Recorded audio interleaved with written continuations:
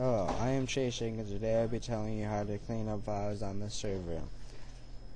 Have you ever seen hoarders? Some people just won't get rid of anything. They think they will use it sometime again and so are afraid to get rid of it. Well, many people watching this video might be getting a message when they try to save a file such as not enough space.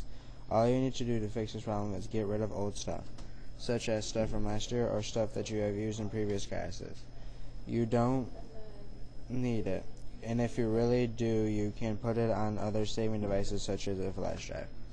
First, let's take this file, English 11b. I took this class last try. I'm sure I don't need it anymore.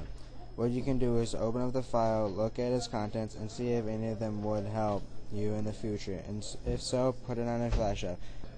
Putting a file on the flash drive is as easy as plugging in your flash drive, opening it up, and grabbing the file and dragging it over and then it automatically copies it over to your flash drive but if not then you can just delete them all all you have to do is right click delete and yes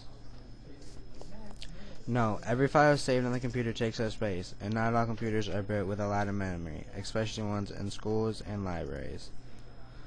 Let's say you're currently in a class such as World History B. Something you can do to clean up files is go through the contents in the folder, find something that you have already turned in a while ago, more than likely you won't need it anymore and it would be okay to delete it. Such as this project. I did this at the beginning of the trimester, so it will to be deleted.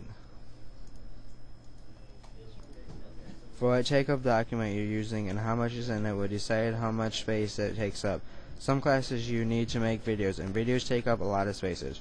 Good file management is to keep bigger files such as videos on a flash drive. It leaves more space for your computer. Don't be afraid to let go of old work.